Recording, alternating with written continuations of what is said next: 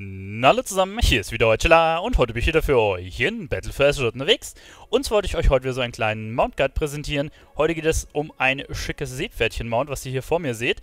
Und zwar ist das Fabius und das kann man sich relativ einfach jetzt mit Patch 8.2 erfarmen. Und zwar befinden wir uns einmal hier in Nasyata, hier oben auf den Koordinaten 27, 30. Und hier sind wir in so einem kleinen Murloc-Lager und dort spawnt ein ähm, Seepferdchen, und zwar Fabius an sich. Und dieses Seepferdchen können wir dementsprechend uns das Mount holen. Aber es funktioniert nicht so, dass wir Fabius einmal töten, sondern wir müssen ein Foto von uns und Fabius schießen und bekommen dann automatisch das Mount.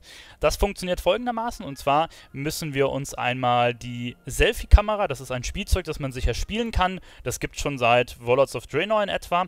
Und da müsst ihr einfach die Selfie-Kamera rausholen, ähm, während Fabius da ist, ein Selfie machen, wo ihr und ähm, quasi Fabius drauf seid und dann bekommt ihr es, wie ihr seht, hier einfach ins Inventar, habt das Mount und könnt dann mit ihm rumschwimmen. Ist übrigens Unterwasserreittier, heißt, ihr müsst im Unterwasser sein, dass ihr mit dem Ding reiten könnt. Und mehr ist es nicht.